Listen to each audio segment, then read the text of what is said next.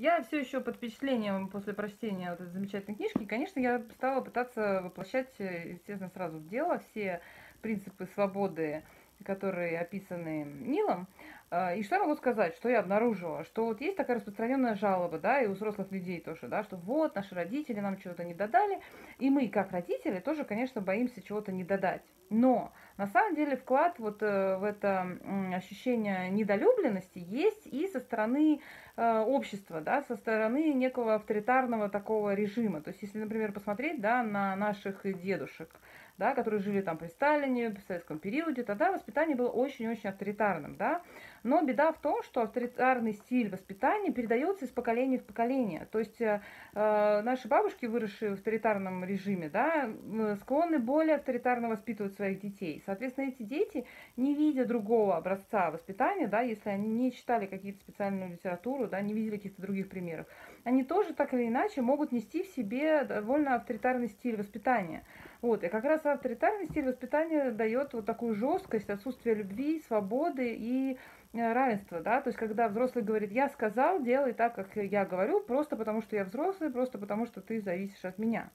Вот, и э, опять же Нил в этом плане совершенно гениален, да, потому что он сразу же, первое, что он убирает, это неравенство, да, то есть э, дети не соревнуются с взрослыми, они все равны, разных возрастов, от 5 до 16, там, 17-18 лет, и он сам, как директор и обслуживающий персонал, они все, и дети, все имеют совершенно одинаковое право, право голоса, да, соответственно, все решения, а, принимаемые о жизни этого лагеря, о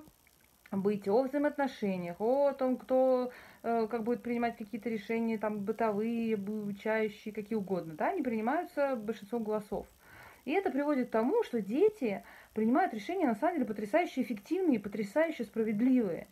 Просто удивительно, там вы прочтете, вы увидите, какие замечательные истории, как бы, да, эта книга очень сильно вдохновляет, потому что она, она очень сильно облегчает родительский труд. То есть вы понимаете, что на самом деле столько контроля не нужно.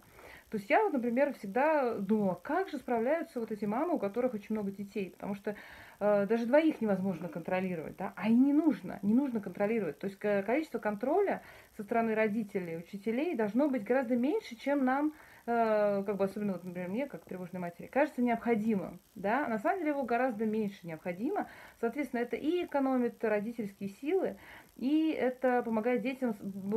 обретать какую-то самостоятельность, которая повышает их э, самооценку, они больше учатся, больше умеют, соответственно, становятся более уверенными в себе, да, и как бы они сами очень здорово э, между собой договариваются и удовлетворяют это свое чувство справедливости. То есть иногда взрослый со своей э, стороны, да, может быть, не понимая каких-то внутренних процессов, там, не имея возможности в них разобраться, да, выносит э, несправедливое